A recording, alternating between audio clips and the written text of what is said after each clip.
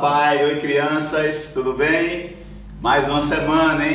Vamos aqui, eu e toda a equipe da Ogacóis, preparadíssimos aí para fazer mais um vídeo legal, mais uma aula legal para vocês, tá bom? E gostaria de continuar agradecendo aí a vocês pelos vídeos que vocês estão mandando, pela, pelas fotos, tá bem animadora, viu?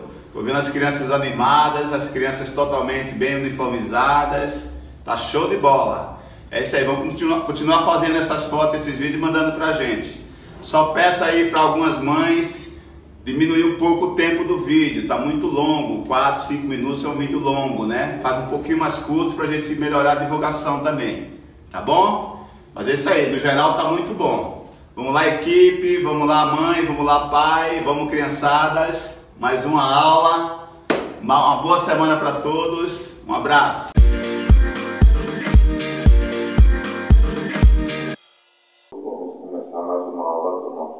Conjuramento. Então vamos lá, Tiagão, posição de sentido, pezinho junto, mão fechada ao corpo, cruzamento né?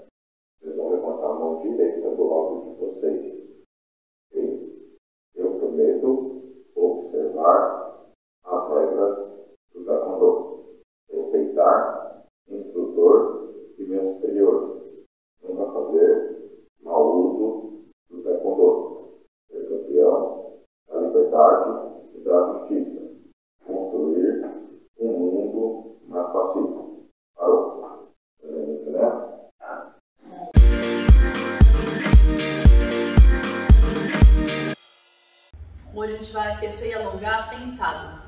Já estiver sentado vai permanecer na cadeira. Quem não tiver vai sentar ou no chão, ou na cadeira, ou no sofá, tá? E a gente vai começar com braços e pernas. Quem puder mexer a perna vai trazer a perna na direção do braço oposto. E cruza. E cruza. E mais um. Para dificultar, agora vai descer mais o tronco e a perna agora não mexe. O cotovelo que chegar na frente do joelho. E agora os dois braços tentam chegar no chão. Toca o chão e volta. Quem não conseguir tocar o chão vai até onde conseguir chegar. Ó. Se chegar até a perna, toca na perna. E volta. Mais um. Fica lá embaixo. Respira grande. E vai voltar devagar Prontos para a prática. Tchau!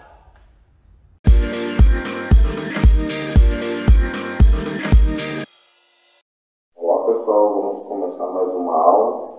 Hoje a gente vai recapitular rapidinho os três chutes que nós já treinamos nas aulas anteriores de forma contínua com cada perna. Ou seja, numa única contagem vocês vão executar os três chutes que nós vamos fazer hoje.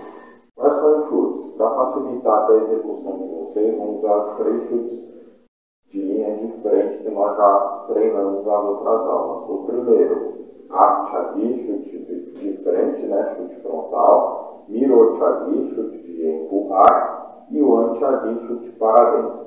Todos os chutes que vocês fazem em linha de frente, né? não há necessidade de girar, algum usar muito a questão do quadril para fazer os movimentos e teoricamente são mais simples. Então como que vai ser feito? Então chariot, posição de sentido, juntos pezinhos, mãos próximas ao corpo, do geniquiné. Então perna direita para trás, preparar bate a B, sempre com grito. Então, numa mesma contagem, vocês vão fazer os três movimentos. Então, fez um, a chari, caiu atrás, Mirochani, e caiu atrás, e caiu atrás. Entendeu? Então vamos lá, vamos fazer três repetições com a perna direita e três repetições com a perna esquerda. Ah,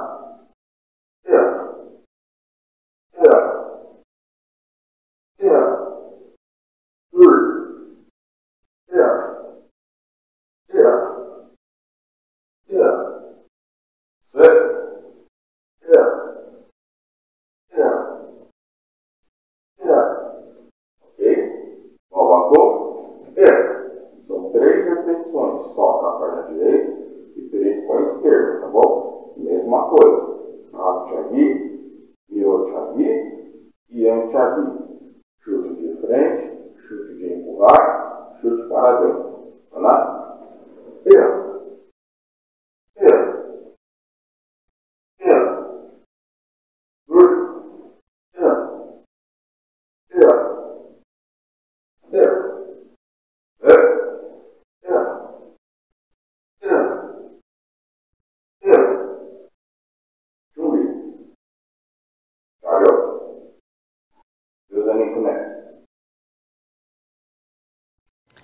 Vamos fazer o chute Aptoliotiagui. Vamos fazer 20 chutes. 10 chutes com a perna direita, 10 chutes com a perna esquerda. Primeiro a gente vai fazer esse chute com algum auxílio de é, ou parede, é, ou algum móvel onde que eu possa encostar minha mão. Tá bom?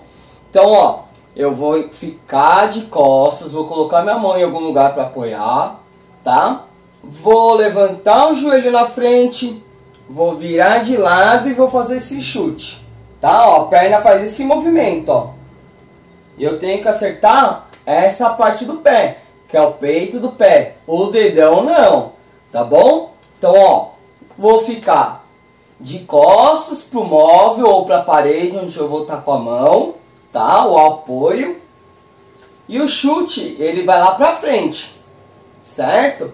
Então, ó, levantei o joelho, tá? Vou virar de lado. Agora, minha perna vai fazer esse movimento, tá? Ó, ela vai lá atrás e faz o um movimento com o peito do pé, tá bom? Vou fazer 10 chutes, tá? Desse jeito, levanta o joelho e bate.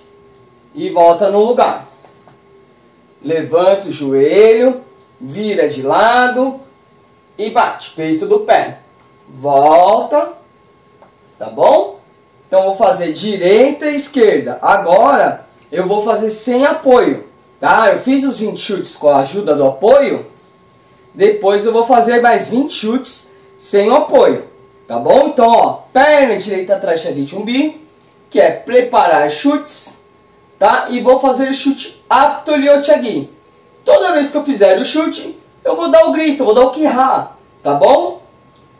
Perna direita, Haná. Tsa! Aí vou fazer perna esquerda. Tur. Tsa! Perna direita. Sim. Tsa! Perna esquerda. Ni. Tsa! Chumbi que né. Então vou fazer 10 chutes com a perna direita, 10 chutes com a perna esquerda, tá bom?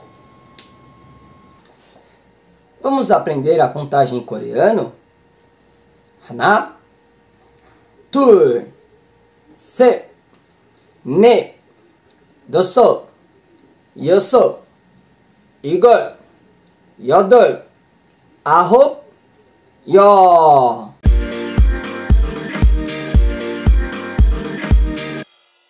Oi, pessoal, como é que vocês estão? Espero que bem. A atividade dessa semana vai ser um pouco diferente. Vai ser um pouco reflexiva, né? E que vai demandar uma atenção de vocês por um bom tempo. A gente vai plantar feijão no algodão.